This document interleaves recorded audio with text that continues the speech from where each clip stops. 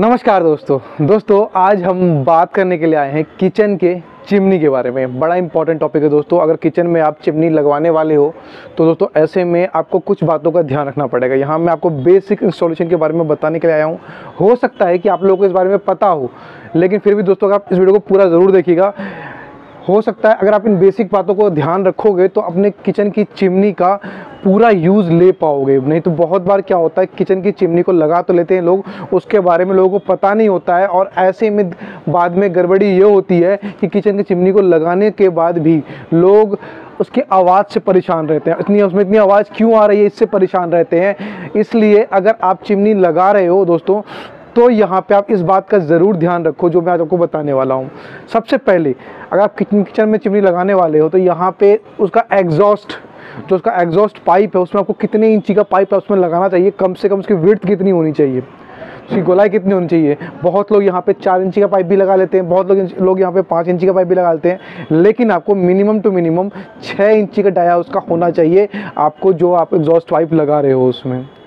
उसके बाद जब ये छः इंच का पाइप लगा रहे हो तो इसमें भी आपकी क्वालिटी पर डिपेंड करता है कौन सा पाइप लगा रहे हो। खैर, इस पाइप के बारे में तो हम बाद में बात करेंगे। चिमनी के पाइप में बहुत सारे बैंड्स नहीं होने चाहिए दोस्तों। अगर आप चिमनी का पाइप लगा रहे हो तो उसमें आपका बहुत सारा बैंड नहीं होना चाहिए। मगर आप चिमनी के साथ लगा रहे हो तो एक्चुअल में क्या होता है, चिमनी का एग्जॉस्ट के बाद ही लोग, बहुत लोग वहीं पर बैंड कर देते हैं नाइन्टी डिग्री पे।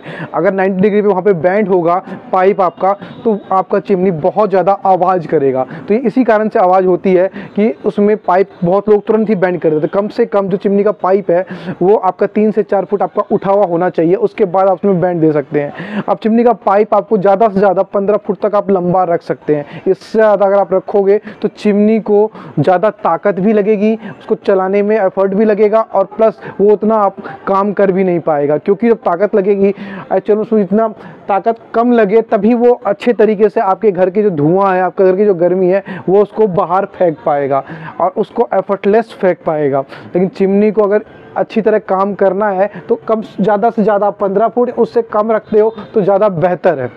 और जितना कम उसमें हो सके हो आप दोस्तों बैंड कम आए। आप जैसे कि बताया मैंने शुरू में बैंड नहीं आना चाहिए ज़्यादा। अगर कितना कम से कम, ज़्यादा से ज़्यादा उसमें अगर बैंड आते हैं तो दो से तीन बैंड इससे ज़्यादा बैंड बिल्कुल नहीं आना चाहिए। इससे ज़्यादा बैंड आता है तो आपका चिमनी बहुत ज़्यादा आवाज़ करेगा नॉइज़ करेगा प्लस साथ में वो उस हिसाब से काम भी नहीं कर पाएगा। और पंद्रह फुट ज़्यादा उस टाइम पर भी आपका नॉइज़ ज़्यादा करेगा और काम नहीं कर पाएगा। तो ये सारी चीज़ें आपको डिपेंड करती है। बहुत बार होता है कि लोग आवाज़ बहुत ज़्यादा कर रहा है, हमें समझ नहीं आ रहा है, हमारी चिमनी आवाज़ क्यों कर रही है? तो यही सब कारण होते हैं। अब हम उसमें पाइप कौन सा यूज़ करें, उसके एग्जॉस्ट पाइप में। बहुत बार इसके ऊपर लोग कहते हैं कि पाइप तो जो आता है हम वही यूज़ कर सकते हैं। लेकिन दोस्तों, उस पाइप को आप ना ही यूज़ करें तो बेटर है। ऐसे में आपका फॉइल पाइप आता है, जो कि नॉर्मली एक फॉइल, एक पन्नी के जैसा, पन्नी के जैसा फॉइल होता है, उस तरह का एक पाइप आता है। उसको नॉर्मली वो चूहा भी कुतर सकता है, वो बहुत आराम से डैमेज हो जाती है। जिस कारण से प्रॉब्लम क्या आती है, बाद में वो पाइप जो है लीक होती है और इस कारण से जो घर से निकलने वाला धुआँ है, वो घर में ही रह जाता है स्मेल घर में रह जाती है और ह्यूमिडिटी आपके घर में ही रह जाती है। उसमें पाइप आप नॉर्मली जो है अगर आपके चिमनी में ज़्यादा बैंड्स नहीं है तो दोस्तों इस तरह की पीवीसी पाइप आप, आप यूज़ कर सकते हो। इस तरह की पीवीसी पाइप अगर यूज़ कर करोगे दोस्तों तो ये बहुत लॉन्ग टर्म चलती है। अगर बैंड नहीं है बैंड बिल्कुल ही कम आते हैं तो बहुत लॉन्ग टर्म चलेगी जल्दी ख़राब नहीं आती है। इसमें अच्छी क्वालिटी का अगर आप यूज़ करोगे तो बहुत लॉन्ग टर्म चलेगी। अगर और वैसे अगर आप और अगर आपके घर में बैंड ज़्यादा आता है मतलब बैंड कम दो तीन आता है, फिर बैंड आता है तो ऐसे में आजकल एल्युमिनियम की फॉइल पाइप आती है। जो एल्युमिनियम की पाइप्स आती है, वो भी बड़ी अच्छी आती है जो वो काफ़ी ज़्यादा वो स्ट्रेच होती हैं, वो मैक्सिमम टू मैक्सिमम आठ से नौ फुट स्ट्रेच होती है तो उस, उन पाइप्स को भी आप यूज़ कर सकते हो, वो भी काफ़ी अच्छी पाइप्स होती हैं। मैं इन सब के प्रोडक्ट की लिंक भी आपको डिस्क्रिप्शन में दे दूँगा। दोस्तों, आप लेने को तो आप ये पाइप कहीं से भी ले सकते हो, लेकिन अगर आप हमारे लिंक से बाई करोगे तो हमारे चैनल की थोड़ी बहुत हेल्प हो जाएगी। तो ये था इन पाइप में से आप कौन सा पाइप आप खरीद सकते हो, कौन सा लगा सकते हो, कितना लंबा आपको पाइप लगाना चाहिए। अब एक दो पॉइंट और रह गए, वो भी कवर कर लेते हैं। जहाँ पे चिमनी का एग्जॉस्ट पाइप का जो एंड आता है एग्जिट आता है, वहाँ पे बहुत बार क्या होता है कि वहाँ से कभी चिड़िया घुस जाती है, वहाँ से कभी छिपकली घुस जाती है। खैर, छिपकली का तो कोई इलाज नहीं है, लेकिन अगर वहाँ से कभी आपका चिड़िया घुस जाती है, वहाँ से कभी चूहा घुस जाता है तो ऐसे में आपका चिमनी जो है वो भी ख़राब होगा, ऐसे में आपके घर में भी स्मेल पहुँचेगी। तो आपको इससे आप कैसे निजात पा सकते हो? तो इससे आपको निजात पाने के लिए आपको उसके ऊपर एग्जिट का कवर आता है लगाने के लिए। आपको यहाँ पे इमेज शो हो रही होगी दोस्तों, आप उससे देख सकते हैं अगर आप उस तरह का कवर यूज़ करते हो तो नॉर्मली आपके घर में चिड़िया जो हो गई कबूतर हो गया या फिर चूहा हो गया इस तरह के जो है चीज़ें वो नहीं घुस पाएगा। तो इस तरह का कवर आप यूज़ कर सकते हो। और ऐसे ऐसे, पाइप में और ऐसे पाइप में आप क्या होगा कि आपका जो नॉर्मल निकलने वाला हवा है वो भी नहीं रुकेगी। जो किचन के चिमनी से एग्जॉस्ट होगा हवा वो आपकी हवा बिल्कुल नहीं रुकेगी। और साथ में जो हवा आपके बाहर से अंदर आएगी वो भी नहीं रुकेगी। तो इस कवर को आप बिल्कुल यूज़ कर सकते हो।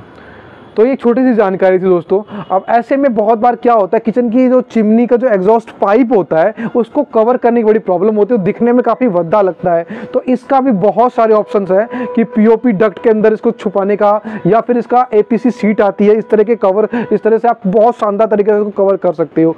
आप इंटीरियर वालों को बोलोगे, वो ए कवर्स बहुत सारे इस तरह के आते हैं, जो आपके घर के कलर से मैच हो जाते हैं। तो आप उन डक कवर को यूज़ कर सकते हो। तो ये छोटी सी इन्फॉर्मेटिव वीडियो थी दोस्तों। इसमें अगर मैं अगर आप चिमनी लगाने वाले हो तो इंस्टॉलेशन के टाइम पे इन सभी बातों को ध्यान रख करके आप लगा सकते हो। अगर इन सब बातों को आप ध्यान रखते हो तो ऐसे में क्या होगा कि आपकी चिमनी बहुत एफिशिएंटली काम कर पाएगी और साथ में बहुत लॉन्ग टर्म चलेगी। ऐसे में एग्जॉस्ट पाइप में बहुत लोग कहते हैं, मैंने एग्जॉस्ट पाइप के ऊपर पिछले एक और वीडियो बनाई थी, आपने देखी नहीं है तो वो देख सकते हैं, जिसमें मैंने आपको बताया था कि आप ये पाइप ना यूज़ करके ये पाइप यूज़ करें। उसमें बहुत सारे लोगों ने कहा था कि आप गलत बोल रहे हो, ये पाइप ऐसा आप अपनी कमाई के लिए बोल रहे हो। दोस्तों, इसमें मेरा कोई वो स्वार्थ नहीं है। अगर आप लिंक से बाई करना चाहते हो तो बाई करो, नहीं करना चाहते तो मत करो।